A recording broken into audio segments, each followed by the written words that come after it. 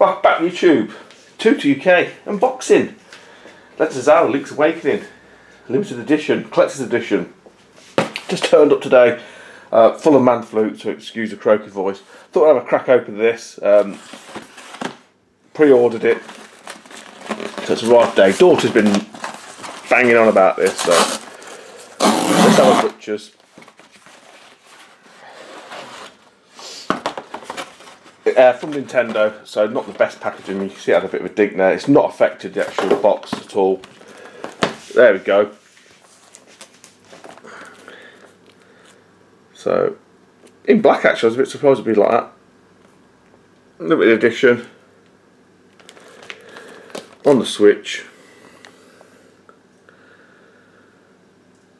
Steelbook, art book, game cart, and that's really about it. I mean, I must admit, from the screenshots I've seen and the videos, it does look fantastic. Just a remake of the original Game Boy. Um, so them no that one. I, I, I, haven't really looked into. I don't know if they've done anything extra, like they did with you know Link to the Past, um, like adding extra features in it or what whatnot. I don't know.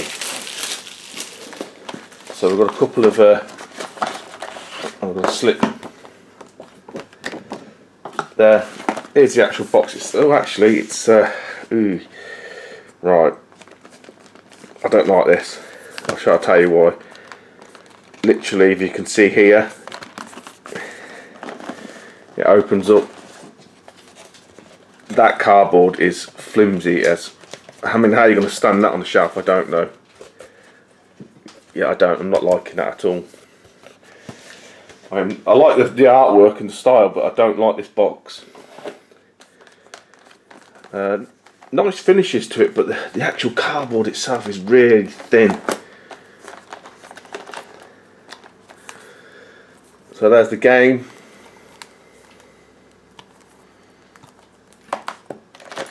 Steel tin.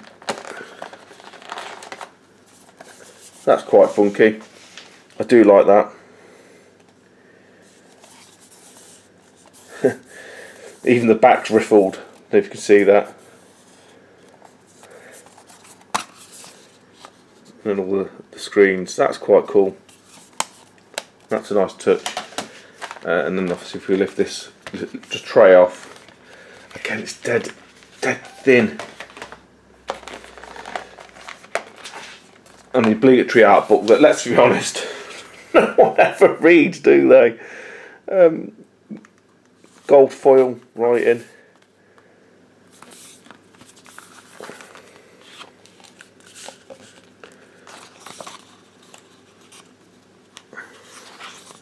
Yeah, I mean, uh, you know, you've still seen these art books. No one really ever. Uh, I suppose unless you've got a vested interest in. I mean, to be honest, the daughter of may start looking at this copy. She's she's really really good uh, artist. Um, but yeah, quick flick through.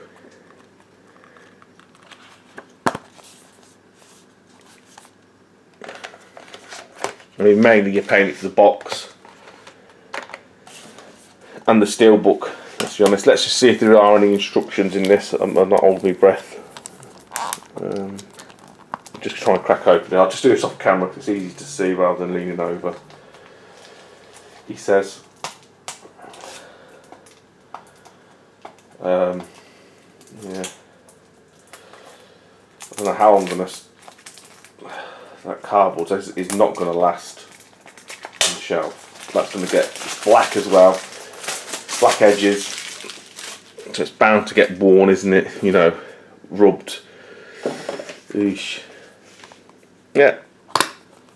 Oh, we got a little uh, pamphlet. That's it. And again, this screen uh, I'm not going to do any game footage because you'll just get a strike from Nintendo and it's absolutely pointless. Even attempting it, guys.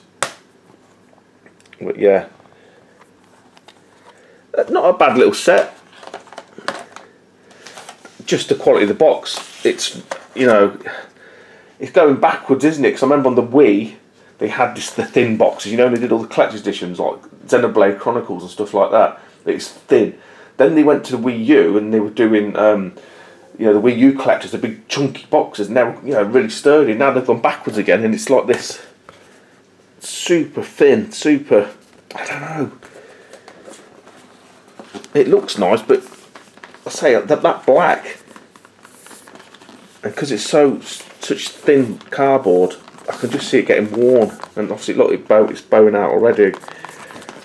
So yeah, um, overall, what did I pay? 70 quid I think it is. It was probably like 60, 50, 60 quid anyway on its own. So, you know, I don't buy many Switch games.